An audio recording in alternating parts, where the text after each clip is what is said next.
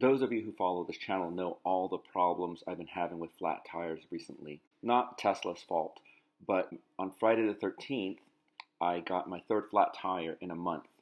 Fun, right? Not a big deal because it was on the tread side, so it could be plugged. But while I'm at the tire shop, I decided to check the front suspension work that Tesla of Burbank had just completed.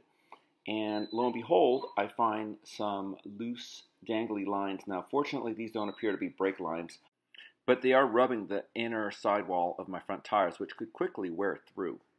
Uh, lack of attention to detail, and while I'm inspecting, I look at uh, my wheels and they forgot to put the wheel caps back on.